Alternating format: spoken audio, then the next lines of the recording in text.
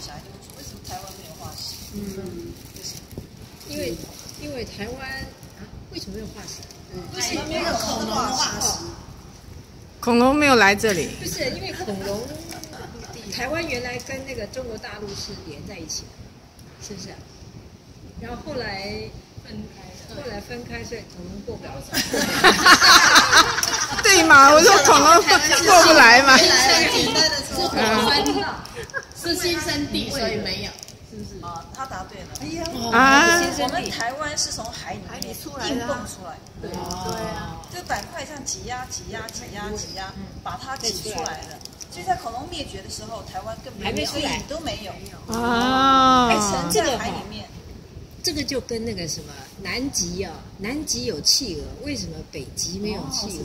同样道理，对。北极也是这样，北极啊，企鹅还是什么？既然这样讲的话，我就跟你讲，在恐龙时代没有南北极。啊，真的？连南北极都没有。南北极。嗯。然后我们在讲生命的演化里面讲到，在古在古生代的时候，哦，古生代我们从寒武纪开始啊，就五亿三千万年前，从这时候开始啊，我在这之前为什么不讲？嗯。我们地球四十六亿年，我们只讲五亿三千万年，因为在五亿三千万年在之前，不知道讲什么，因为找不到东西。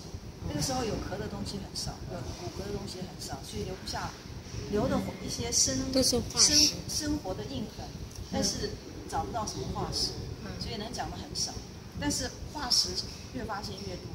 但刚开始发现的时候，比如说他们看到一个一个像犀牛角这样东西，嗯二十多公分的，然后就把它呃找到找到一个化石，然后就把它安插在它的鼻子上，因为犀牛不是在鼻子上都有个角吗？那后来再找到它整个完整的脚，才发现那是它的脚趾。啊，好可爱哦！所以就知道在那个还留在那个国外的博物馆。就是一个错误的印证，错误的教学，就是就是因为事实上就是化学发现到什么就讲什么。那刚开始的话，呃，很多不太清楚的话，就是编故事嘛。嗯比如说我们说有个窃蛋的，对不对？嗯。窃蛋人家说他是偷蛋，因为那个时候还不知道这个蛋跟这个龙有什么关系。嗯。想说他在蛋的旁边，因为蛋旁边，他应应该是要来吃这个蛋。后来再研究发觉，这个蛋就根本就是他的。第一个命名模式标本命名的时候。以后就不能改了，所以他永远背着头衔。在同样地方你看到这样子的情况，呃，一个恐龙在的蛋上面啊，他想说哦，他还要孵蛋呢，好有爱心，就叫慈母龙。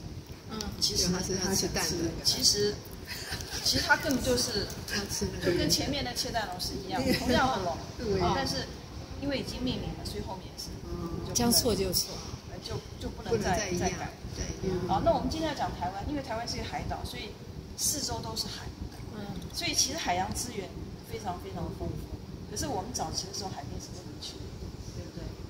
对？是这是那个国防的问题，对对对，海防部队。普通人对海边是比较不了解，但现这这些年来都开放了，嗯，慢慢的发现，其实我们台湾的海域非常丰富，没有啦，有珊瑚礁，我们看说珊瑚礁白化是不是死了？嗯，对，没错。然后有在听，珊瑚礁白化还没有死。嗯，珊瑚礁是藻菌共生，你看到那么多颜色是上面的藻类。嗯，但是因为那边环境不对，啊，污染啊，或者气温不对啊，所以它的藻类就先死。珊瑚还没有死，白化还没死，还没有死。但是等到珊瑚也死，那就变成就完全很少。哦，假如那环境改善的话，那个藻类再回来，那花花绿绿颜色还会再重新出现。那我们台湾除了有呃。浅的珊瑚礁之外，我们还我们东岸地方很快就接近大海，所以可以到很深的。嗯嗯。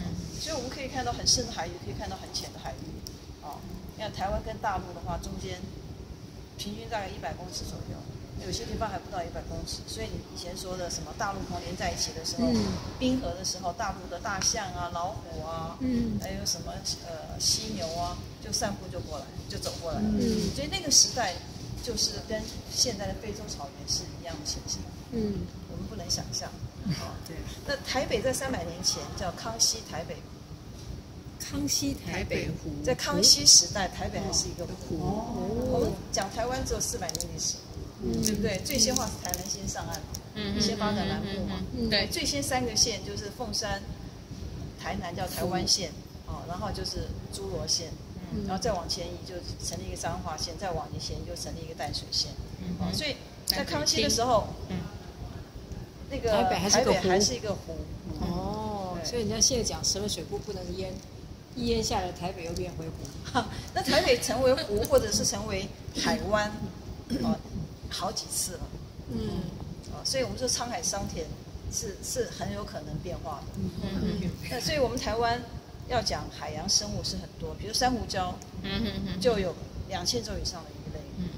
嗯哦，那呃，那至于其他的深海、浅海各种不同的，现在前一阵不是那个什么五号才才翻掉嘛，那个研究船嘛，嗯，对海，盐号，海盐号，嗯，那是很可惜的嘛，因为打造一艘那种船是不容易的。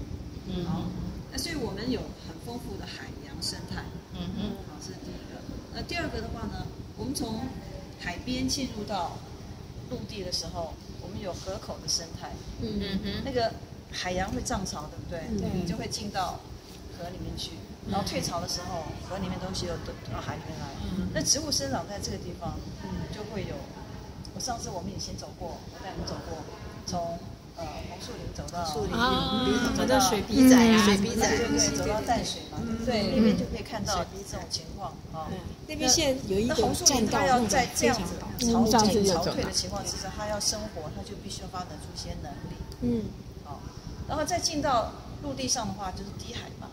嗯我们这边低海拔是以乌来为样的。